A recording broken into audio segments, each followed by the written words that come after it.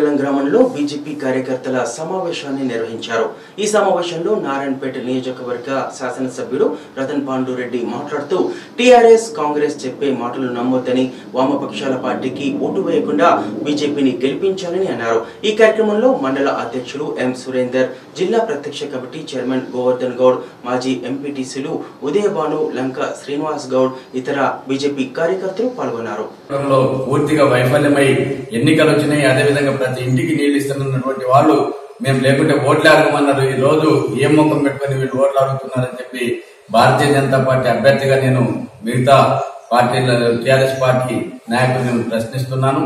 ఈ రోజు మభ్యపెట్టి డబ్బిచ్చి అదేవిధంగా బీర్లు బిర్యానీ రేపి ప్రగతి నివేదికలు అని చెప్పి ఈ రోజు కులానికి కులాల మధ్య సిచ్చు విధంగా వీళ్ళు ఓట్ బ్యాంక్ రాజకీయాలకు పాల్పడుతున్నారు.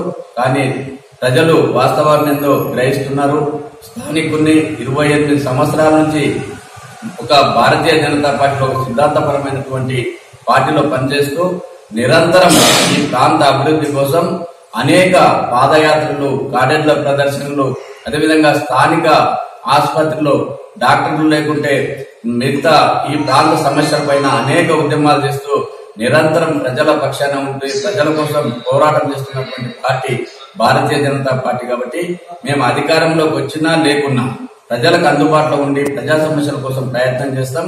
కానీ మిగతా పార్టీ నాయకులు ఈరోజు ప్రజలకు అందుబాటులో వాళ్ళు ఎవరు కూడా ఉండడం లేదు. ఎన్నికలు వచ్చినప్పుడు మాత్రం వచ్చి ఈ రెండు నెలల సీజన్ చేసుకుని మళ్ళీ తర్వాత నాలుగు సంవత్సరాలు ఎక్కడో వాళ్ళ ఇది ఉన్న విధంగా వాళ్ళు వెళ్ళిపోతారు. ఇక్కడ వాళ్ళకు మద్దతు ఇచ్చినటువంటి ప్రజలు అధోగతి పాలవుతారు కాబట్టి ఈ స్థానికుల్ని ఇక్కడ అందుబాటులో ఉండేటటువంటి వ్యక్తిని ఈ ఎన్నికల్లో గెలిపించాలని చెప్పి నారాయణపేట నియోజకవర్గ ప్రజలందరికీ కూడా నేను విజ్ఞప్తి చేస్తున్నాను.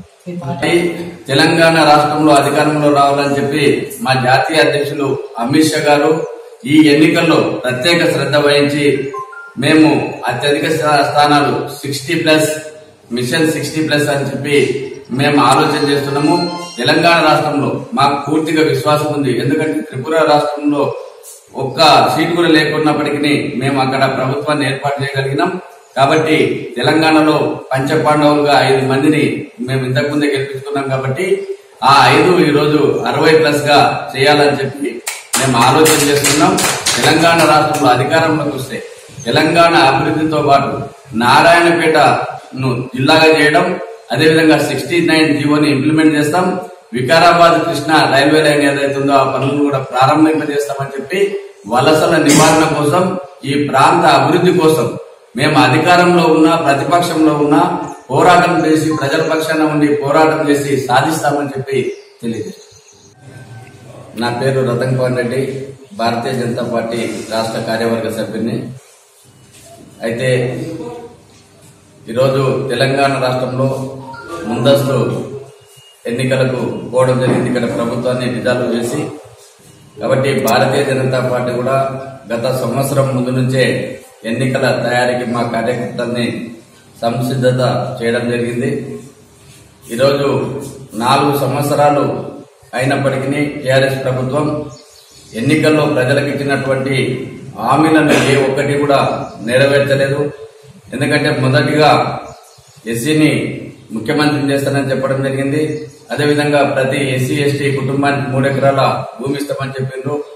అదేవిధంగా కేజీ టు పీజీ ఉచిత విద్యను అందిస్తామని చెప్పి ఇల్లు లేని పేదలకందరికి కూడా డబుల్ బెడ్రూమ్ ఇళ్ళను ఇస్తామని చెప్పినటువంటి ప్రభుత్వం ఏ ఒక్క హామీని కూడా నెరవేర్చకుండా ప్రతి ఇంటికి మిషన్ భగీరథ ద్వారా త్రాగునీరు నువ్వు అందిస్తామని చెప్పినటువంటి ప్రభుత్వం లేకుంటే ఓట్లు అడగం మాట ఇచ్చి మాట తప్పితే మా మె- మెడకాయ మీద తలకాయ ఉండదని చెప్పినటువంటి ముఖ్యమంత్రి గారు ఈరోజు ఏ ఒక్క హామీని కూడా నెరవేర్చకుండా ముందస్తు ఎన్నికలు పోవడం జరిగింది.